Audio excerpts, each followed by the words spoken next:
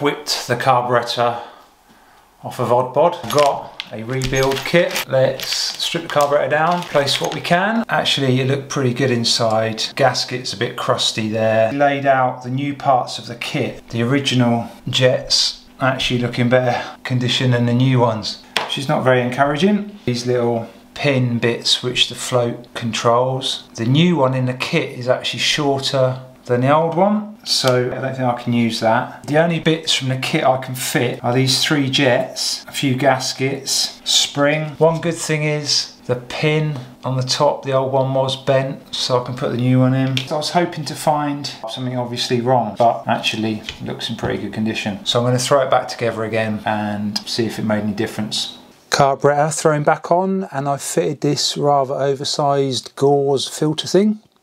New episode coming soon.